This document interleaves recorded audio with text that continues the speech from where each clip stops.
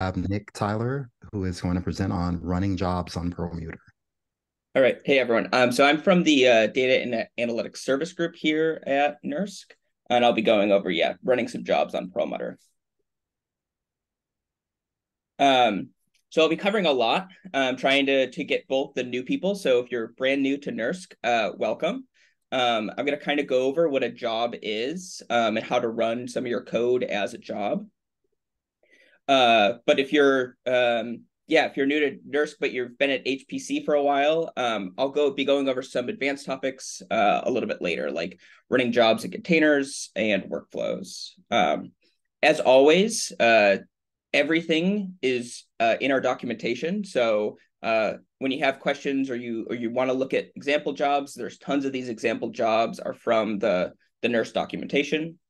And then we also have the script generator, which can give you some more advanced options. If you already know how to run your jobs and you want some more advanced options, I recommend looking at the script generator to help you get some more of those advanced options. Um, and then tomorrow, there'll be some more uh, job running, performance, and profiling uh, tomorrow. So if you're new to HPC, what is a job? Um, so when you connect to Perlmutter, you get onto a login node. Um, that includes most Jupyter sessions as well. So if you're familiar with Jupyter or want to log in with Jupyter, those are all going to run on a login node. But our login nodes aren't meant for large computational tasks. Um, they're shared by all of our users. We have lots of users, and you want to be kind to your fellow user. Um, so we only have 40 login nodes, but we do have a lot of compute nodes. And so that's where your computation should go on a compute node. So we have about uh, little less than 1,800 GPU nodes and a little over uh, 3,000 uh, CPU nodes for you to do all your work on. And so we have a couple different ways of accessing these compute nodes. Um, so one of them is through an interactive job.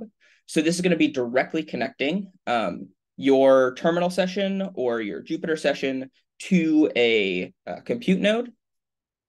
Um, and then you would interact with this through the command line interface or maybe a Jupyter notebook um, as you're on that compute node. We also have uh, batch jobs. And so a batch job is where you're going to place uh, the code that you want to run into a script, and then you'll submit that script to a queue, and then you'll wait for all of that work to be done uh, and get processed on the compute nodes. So here at NERSC, we use Slurm to manage all of our jobs. Um, Slurm's an open source tool for being able to perform job scheduling. Um, and it takes care of a couple different responsibilities here at NERSC. So it, it allocates the actual resources that your job is going to use.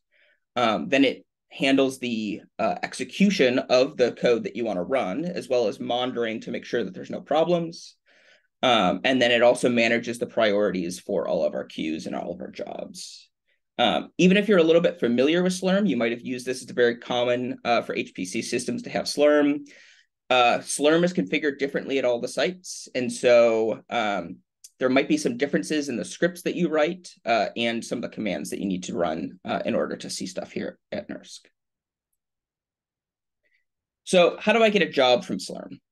So uh, you can get an interactive job by using the salloc command. Um, it's short for Slurm allocation you're asking Slurm to allocate you a node or a set of nodes to be able to do your work on.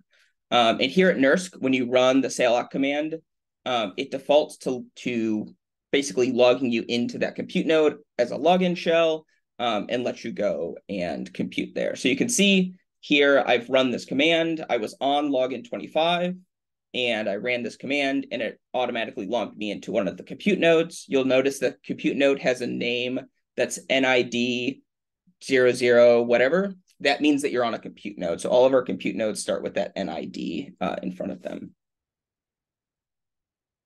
So what does that command actually do?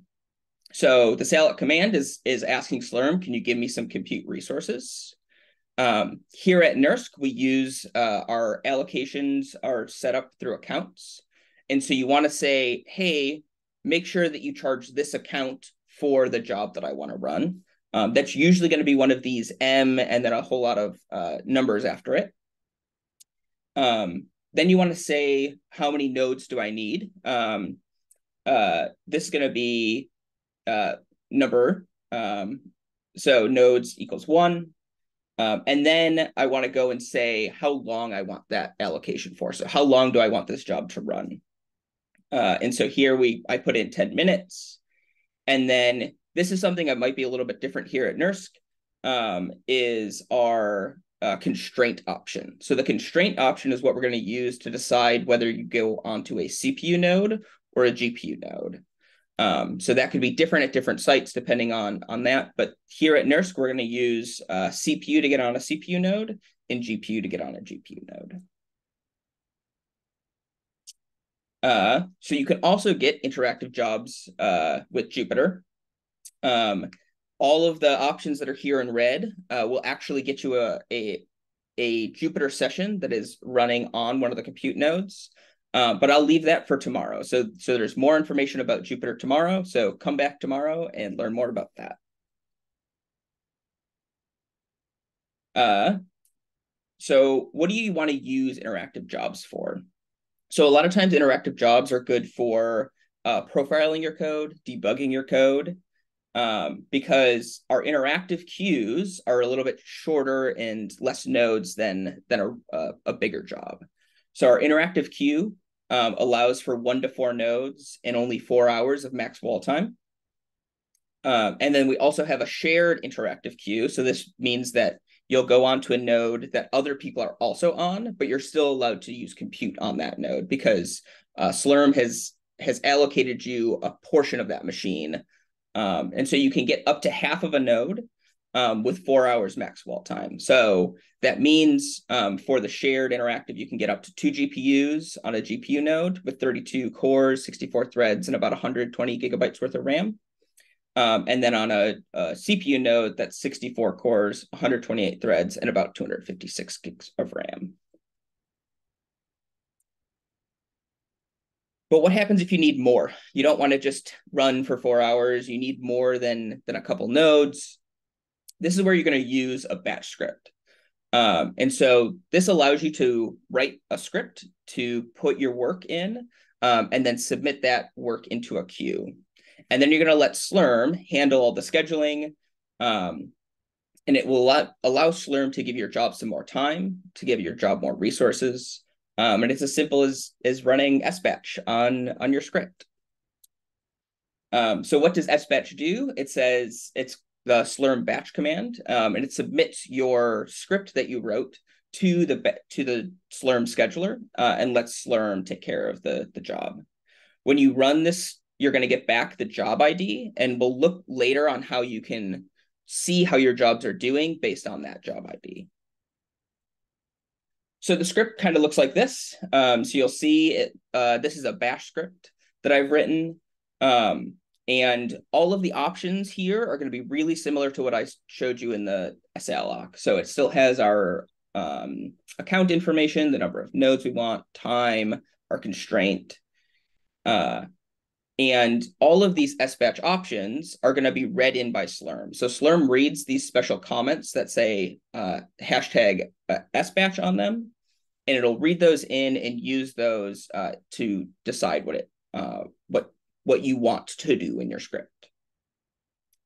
Um, so here uh, I'm asking for four nodes for eight hours, and I've changed the job name. So the job names can be helpful if you want to go and name your uh, job in a particular way so that later on you can go and find out what that job was a little bit uh, better. I've also organized my output files a little bit. So these uh, last two, the minus O and minus E, are the output file and the error file that's going to come from the script. Um, and those, there's some special uh, characters that you can use for Slurm to identify those. Um, that can be really helpful if you want to go and organize your outputs and your error files to make sure you know what job uh, those outputs and errors are coming from. So uh, Slurm also adds some environment variables to your job for you. These can be really helpful because it'll tell you things like the number of nodes that it allocated to, to you, um, as well as some other things. And I'll go over some more of those uh, in a second. Um, the last part of the script here is our srun part. So this is for Slurm to run your job in parallel. You use this srun. Um, you're going to use this instead of maybe an MPI exec or MPI run, or there's also other schedulers also have a similar um, run command. So you're going to want to use this srun here at NERSC because then it allows Slurm to use uh, the right libraries um, in order to make your job run in parallel. And so here I'm just running um, one time per node because I've said I've asked Slurm, uh, I've asked srun to give me just one uh, per node to run host name. Um, so I'm just going to print out that that nice NID host name to make sure I'm on the compute nodes. So here's some helpful uh, Slurm variables. This might be something you want to go back and look at later. Um, but so Slurm will put some of these environment variables into your uh, into your environment for you, and then you can use them. Um, commonly, too, you might want to use them to uh, do some math calculations to figure out things like the total number of CPUs or tasks that your uh, program has, um, or the total number of GPUs um, that or GPUs per task that you have. Um, and these can be then used in the srun themselves to make sure that you have everything uh, set up properly as you're trying to run your jobs. Um, so I talked, a, I kind of went over it a little bit, but uh, one of the options on there is going to be our minus Q uh, option. So that's going to choose what queue that your Slurm job goes into. So all of our queues here at NERSC have different uh, um, different things that you can do with them. So in our debug queue, which is used for debugging your jobs, maybe some small scaling tests, um, we allow for one to eight nodes and a 30 minute max wall time. So it's really just for testing your scripts. Um, you want to just make sure that your job starts up properly, uh, maybe do a small number of iterations on something to make sure that it completes properly. But really, these are uh, a small amount of wall time because we want to be able to get these jobs into our queue and then processed really quickly so that you can uh, turn around pretty quickly. But to really get your science done, you're probably going to want to use the regular or the shared queues. So these allow for a longer lifetime uh, job lifetime, so 24 hours of max wall time. Um, and then you can submit up to 5,000 jobs uh, at max. So you can submit a lot of jobs through here. Um, and you'll use the minus Q regular. Um, or if you only, if you know that you need less than a whole node, um, you can use the minus Q share. And this is, again, the same half node max per job. So uh, you can go and use that to submit to less than a full node worth of work. You can still use um, Slurm to do that. So a couple tips on debugging your scripts as well. So Slurm with the sbatch command, you can actually override all of the comments inside your file with command line options. And so this can be really helpful. You've written your script, you think that it's going to work, you know that you want to run it with 100 nodes, um, but you need to test it really quickly. And so what you can do is you can uh, prepend in front of your script the options of minus Q debug, um, minus N10 for a, a, smaller amount of time than maybe your 24 hour max time. And you can also change the number of nodes in there as well, um, which can be helpful for uh, putting it into smaller queues. So once you have your jobs running, you want to see uh, what's happening. So we can use the SQ command um, to view Slurm's queue information. Um, the default SQ command will give you information for all jobs in the Slurm queue for all users. Um, that can be a lot of information, especially for a really packed system like Perlmutter. Um, so NERSC has made a little shortcut called SQS. Um, this both goes and shows you just your jobs, which is helpful, but it also has um, some nice output that you can see here at the bottom. Um, so it can you can see here I have a couple jobs uh, in the queue at the moment. Um, one of them is running because um, it has that minus R under the state. Um, and then the other one is pending. It has that PD, which means that it's just waiting in the queue. It's waiting to start that job. There's also things on here like the time that I submitted it, uh, the time limits, uh, when the job started, um, and then those uh, features, which is going to be that same as that constraint of whether I had a GPU or a CPU uh, node that I was asking for that. so what happens if you make a mistake?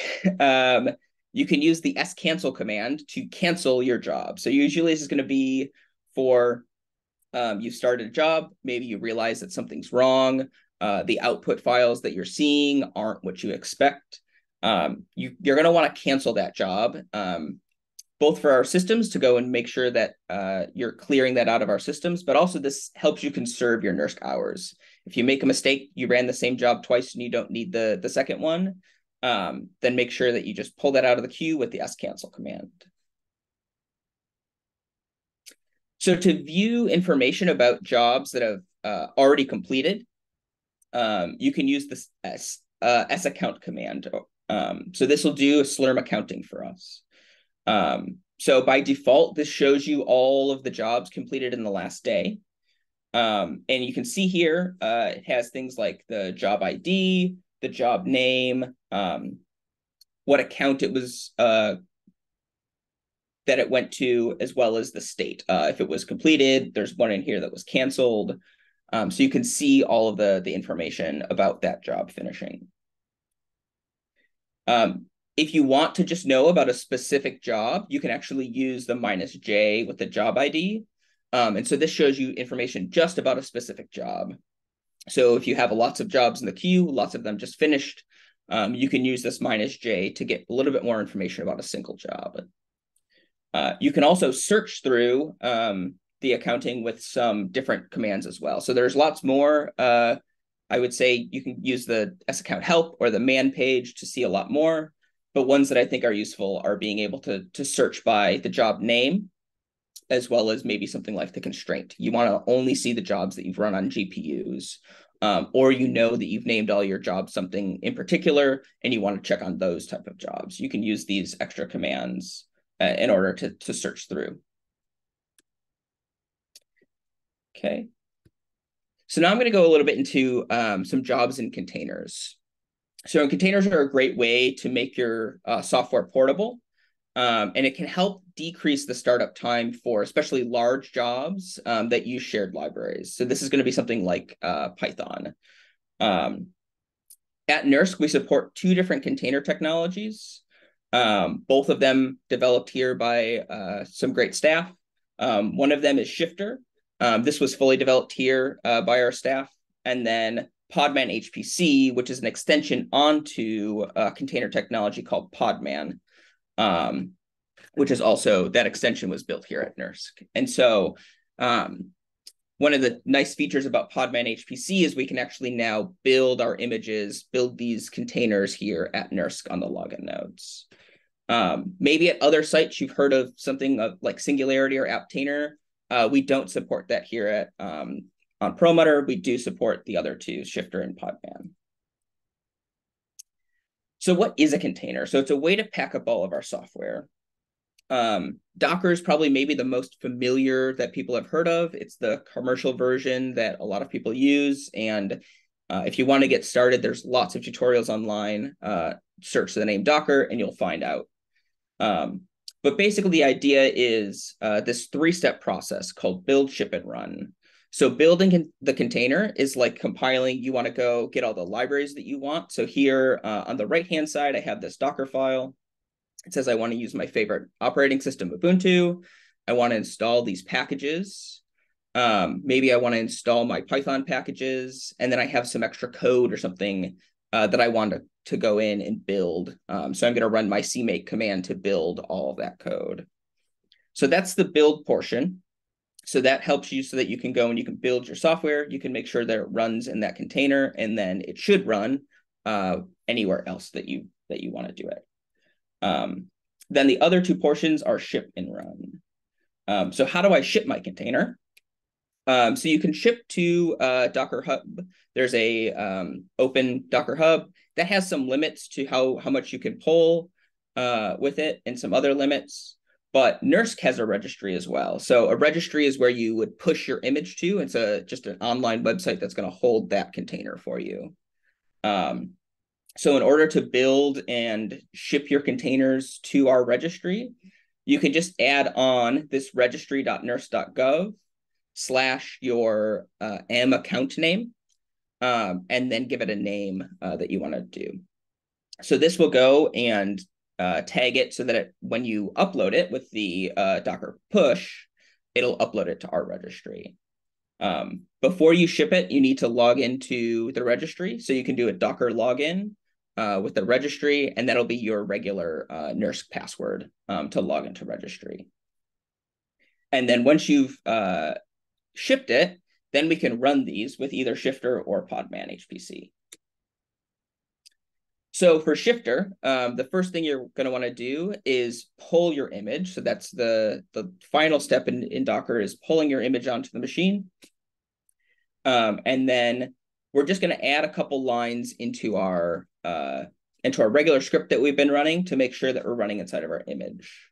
So one thing that's helpful is that in the sbatch command itself, you can add this image uh, command or this image option, and that will go and um, it tells Slurm that you want to use this specific image uh, when you're running your commands. Then in the command itself, we'll just add the shifter in front of the command that you want to run.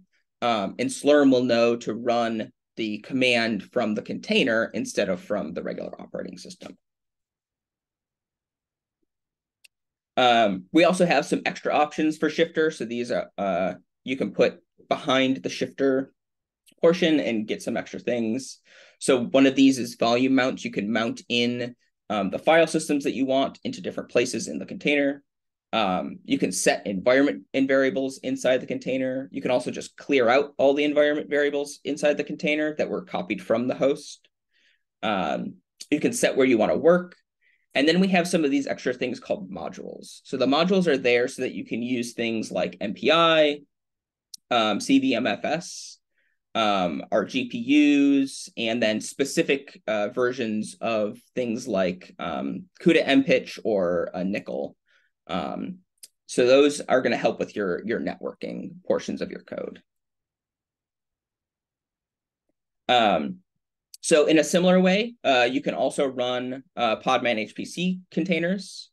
So you're still, before you start your job, you're going to want to run Podman HPC pull and then that image name.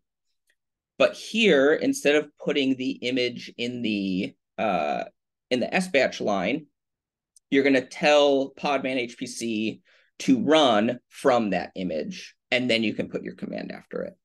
Um, if you're familiar with Docker, the Podman HPC co uh, commands are going to look a lot similar to Docker uh, because they're both this um, OCI compliant, the Open Container Initiative compliant. Um, so yeah, so uh, when I talked about the build ship run, um, we can also do this on a login node uh, on Perlmutter. So this is a, a nice feature of Podman HPC. So you can go and do Podman HPC build and give it a name. And then instead of shipping it, you can migrate instead. So in, you'll skip the in-between step of uploading it to a server. It just puts the image then uh, onto your scratch disk so that you can actually use it when you want to run a, a command.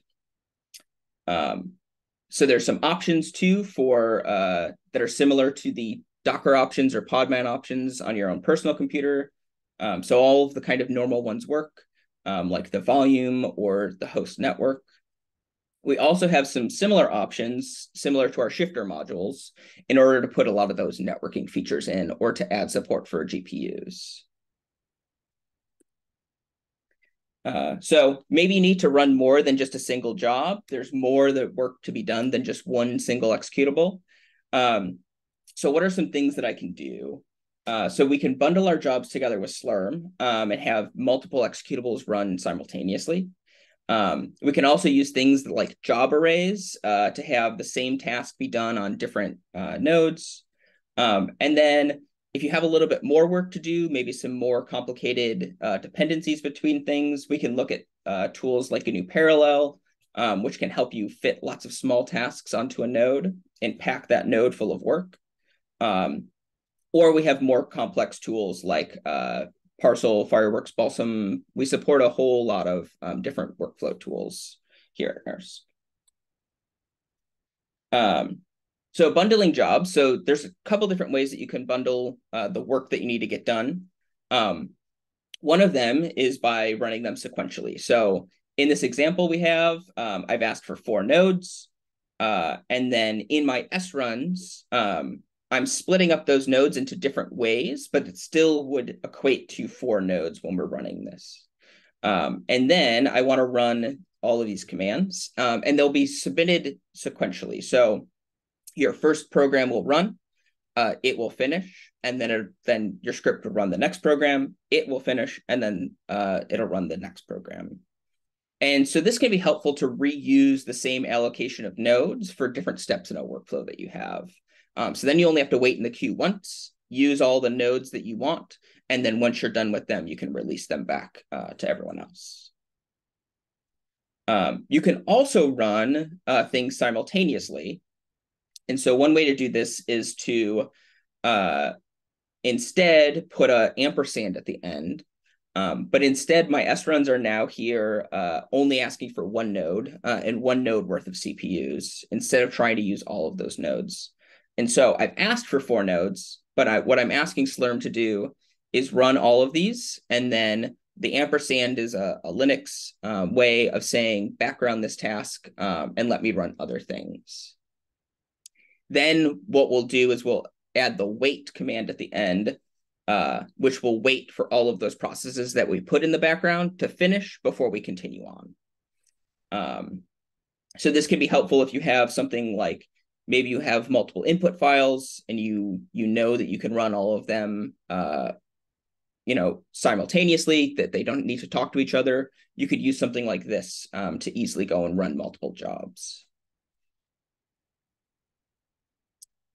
Um, another way of doing something similar uh, would be using a job array.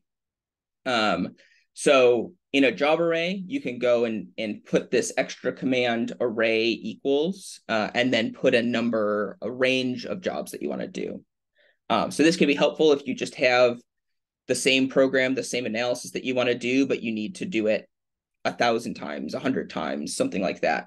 Um, and then you can use, again, one of these uh, extra variables that Slurm puts in, the Slurm array job ID, um, to add in the extra part uh, to, to make sure that you're doing the work that you want to do for each one of those uh, separate jobs. Um, one other tool that could be very helpful is GNU Parallel. So this is a, a simple workflow manager um, and it's great for doing many small tasks that don't need sruns. Um, so we don't recommend running commands that need srun inside of here.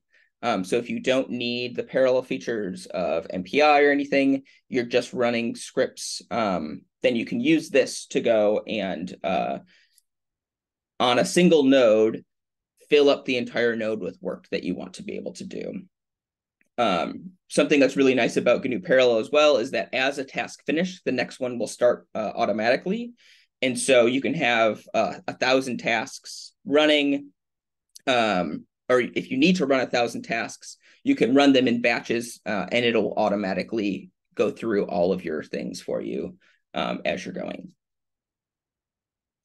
So we also have some more complex uh, workflow tools if you need things like dependencies, um, a lot of these are written in Python. So if you're familiar with Python, working in Python, then this can be a great way uh, to chain all of your jobs together, to chain all those dependencies together. Uh, recently, we had a, uh, a workflow training between uh, OLCF and ALCF. Um, and so we have some documentation there um, that's really helpful for getting started with some of these tools on our systems. Um, but also feel free to reach out uh, at help.nersc.gov um, with more questions about workflow tools. Okay, so some best practices. So um, this is going to talk a little bit about how jobs are scheduled.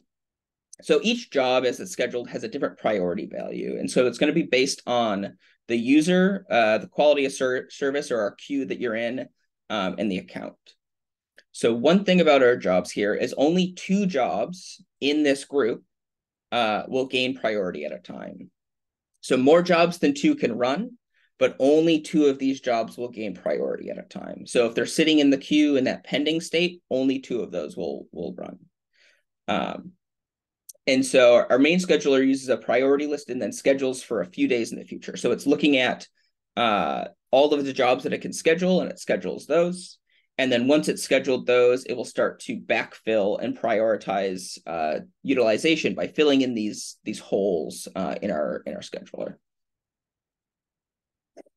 Um, so some tips that can help you is a large job with uh, a large allocation, um, because the per node aging is going to be the highest. It counts as one job, even if it has a lot of nodes in it. And so because of that, our scheduler can can put it um, can schedule a little bit easier than having a lot of really small jobs. Um, also, if your job can be broken up into really small time pieces, um, you can use shorter length jobs to help fill in in that backfill queue. Um, this can also be done with a workflow manager. If the workflow manager knows uh, the scheduler, it can usually find smaller tasks that it can fit inside of our scheduler uh, pretty well. Um, another tip is to use the right time request to Slurm. Um, there's a really there's a balance here because you want to have enough time that your job is going to complete uh, without failing, but you also want to make sure that you're not just asking always for 12 hours or 24 hours, uh, even if your job only takes four, because Slurm doesn't realize that it's going to take four, um, and it's only going to realize what what you tell it to do. Um, and so, if you ask for a lot more time than than you need, then Slurm's going to have to to allocate that amount of time in the scheduler, and that can take a lot longer for them to to wait. Um, I'll point out again uh, the script generator. Um, so this script generator is on uh, the MyNERSC page, and especially if you know more about um, the threading options that you want and some other options, uh, this can help you as a starter to go and get a lot of those srun options uh, in your script. Okay, so we covered a lot. Um, I went over kind of what jobs were, how we make our jobs, how we put our codes into those jobs, um, some running containers and workflows. And then again, I'll point out our, our docs and our script generator.